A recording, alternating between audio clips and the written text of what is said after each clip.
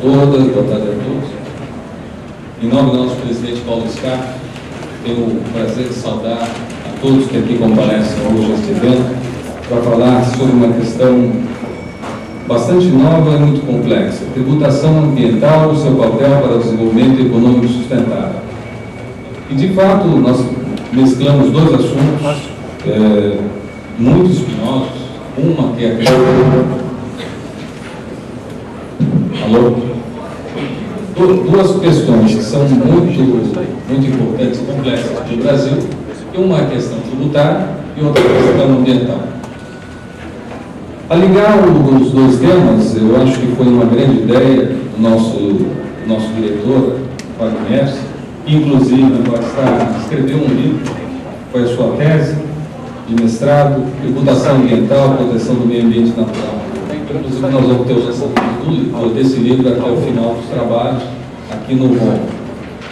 E é, é, uma ideia, quando veio o tema, eu até achei muito interessante e muito instigante. Né? É, o que, que ligaria a tributação em relação ao meio ambiente? E, de fato, eu ter a, a, a, o tributo, que hoje a carga tributária do Brasil é extremamente alta e complexa, mas não no fator de você punir, mas no fator de você fomentar o desenvolvimento econômico para aquelas empresas que fazem a proteção do meio ambiente, que seriam o bom contribuinte, o bom, o bom ambientalista, reduzindo a carga tributária de forma que você tivesse uma motivação adicional, me pareceu realmente muito oportuno abrir essa discussão. E é um motivo desse sucesso é o seleto público que hoje aqui nos prestigia, é, através desse evento que nós estamos fazendo junto com a IDD, e que com certeza ao final do dia nós vamos ter algumas, algumas importantes contribuições. Eu queria saudar a nossa mesa nas pessoas do, do deputado federal Arnaldo Jardim, do nosso vice-presidente e diretor titular do DNA, Nelson Pereira dos Reis, o Alexandre Zavalho, diretor executivo da Escola de Direito Brasil EDB, e do Fábio Neves, nosso diretor titular do IBJU. Queria passar para algumas considerações para o nosso deputado federal, Arnaldo Jardim.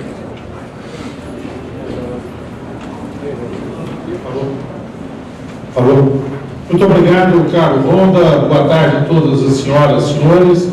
Saudar com muita alegria meus amigos, me permitam dizer, o Nelson, aqui do nosso DMA, o Alexandre, parabéns Alexandre por essa iniciativa, meu querido Fábio Nieves, com quem há muito tempo partilho das suas preocupações. Reencontrar tantas pessoas queridas, pessoas que militam nesse segmento ambiental, da sustentabilidade e da perspectiva de ver isso sustentável também do ponto de vista econômico. E é disso que nós trataremos hoje certamente. Pessoas muito qualificadas e eu estou muito surpreendido com o nível de adesão que esse tema aqui revelou, como um sinal evidente de que isso é uma questão muito sensível e importante. Eu fiquei pensando no que deveria falar aqui, eu cheguei à conclusão que eu deveria contar sobre o almoço que eu filei hoje aqui na Fiesp, antes de conversar aqui o encontro. Eu cheguei um pouco mais cedo e filei o almoço com o Nelson. Mas o Nelson não faz nada de graça. Então o almoço foi um almoço muito, muito interessante. Não só agradável pelas pessoas que estavam, mas o Nelson reuniu um conjunto de pessoas e recebeu a mim e ao Valverde, que vai estar aqui com vocês, trabalha comigo, muitos o conhecem. Esse almoço, brincadeiras à parte, ele começou da seguinte forma: Arnaldo, você apresentou um PL lá na Câmara sobre áreas contaminadas. Alguns daqui sabem que isso está lá tramitando. E você fala lá da instituição de uma tributação para que nós possamos ter um fundo e esse fundo lastrear a recuperação, a remediação dessas áreas. É lógico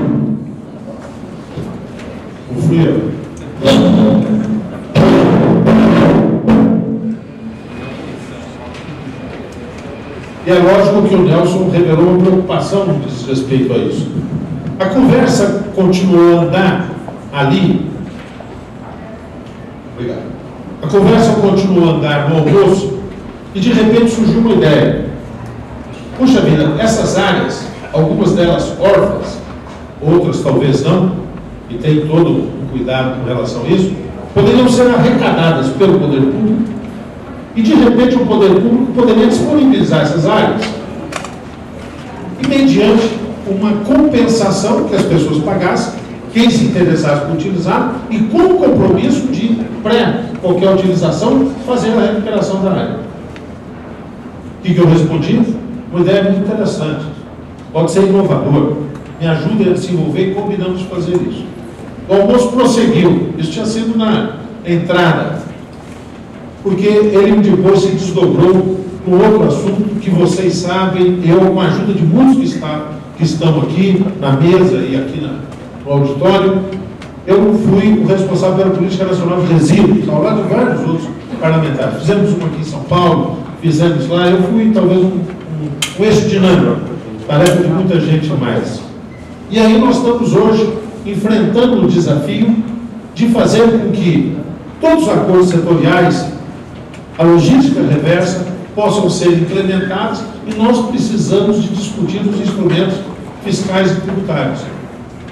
Há 15 dias atrás, o governador Geraldo Alckmin fez um importante ato, muitos aqui também lá estavam, e que foram anunciados os primeiros acordos setoriais, e ele teve até a grandeza, ao final, de dizer o seguinte: estamos fazendo isso aqui cumprindo a lei, a estadual que nós havíamos participado, a nacional, mas eu reconheço que nós precisamos fechar essa equação avançando nos instrumentos fiscais e tributários para que isso possa ser compensado. Para que aquilo que o, que o Ronda de passagem mencionou, e que está na lei federal, de uma forma muito explícita, e eu insisti muito para que lá estivesse, nós possamos sancionar quem não cumpre, mas nós possamos também estimular, premiar aqueles que efetivamente fazem o cumprimento da lei e uma contribuição à sociedade. Não é por outra razão, e eu, engenheiro que sou, fui aprendendo com muitos juristas, advogados, fomos discutindo isso, que nós introduzimos, além de manter no princípio da legislação a questão do poluidor pagador, introduzimos uma novidade. E todos acho que sabem que isso pode significar um caminho extraordinário, importante, porque nós introduzimos o princípio do protetor recebedor também. Ou seja, não só do poluidor pagador, uma possibilidade de que a legislação contemple isso.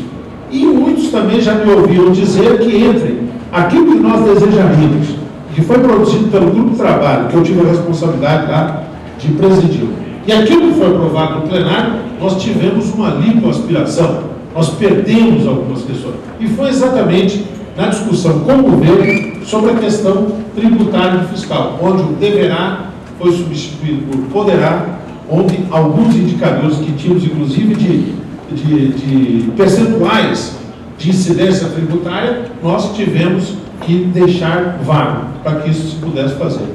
E, finalmente, eu mencionei a todos que eu sou, e quero reiterar a vocês e pedir ajuda, sou responsável no último momento que lá está, pelo projeto de pagamento por serviços ambientais, sou relator no âmbito da Comissão de Finanças e nós também estamos instituindo, a partir agora, desse ano, já foi autorizado pelo presidente da Câmara, uma comissão que vai rever, e eu devo coordenar a legislação sobre a questão da biodiversidade. Então, eu estou contextualizando aquilo que todos vocês vão se dedicar, já estão se dedicando no âmbito do seu estudo, do seu trabalho, das suas empresas, das suas entidades aqui. Aqui eu acho que, mais uma vez, cumprimento ao Fábio Lieves, ao DEJUR aqui, ao DMA, que tiveram acolhido para esse tempo tão importante, a participação do Alexandre pela escola, que isso tudo vocês estão reunindo aqui, pelo que vejo, pelos debatedores que estarão, o que nós temos de mais avançado na formulação de ideias, o estudo sobre essa questão. Eu tenho uma expectativa muito grande de que isso nos ajude, no âmbito da Câmara, a fechar essa equação. Precisamos fechar essa equação.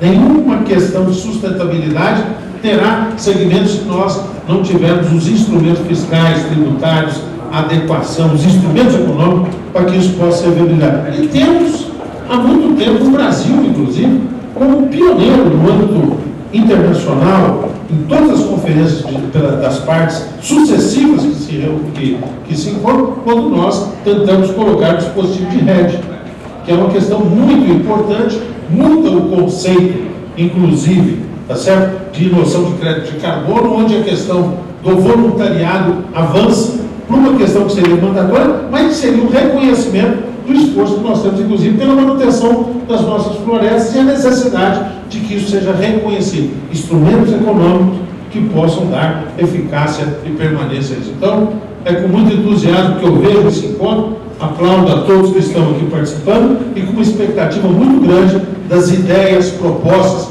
que certamente surgirão a partir daqui, que eu, particularmente, gostaria muito de ter licença para levá-las no âmbito da Câmara e que isso possa orientar, se desdobrar em legislações atinentes ao tema. Muito obrigado, bom trabalho a todos.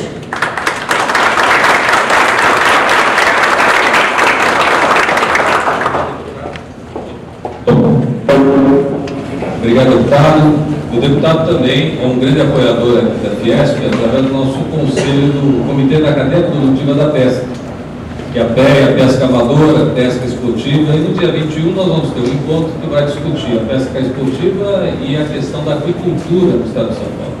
Muito importante aí, saudar o Daniel Gage ali, que é assessor do, do secretário Bruno Cox, vai ser muito interessante essa discussão para o estado de São Paulo. Deve estar presente ali, falar com o secretário, que é muito importante.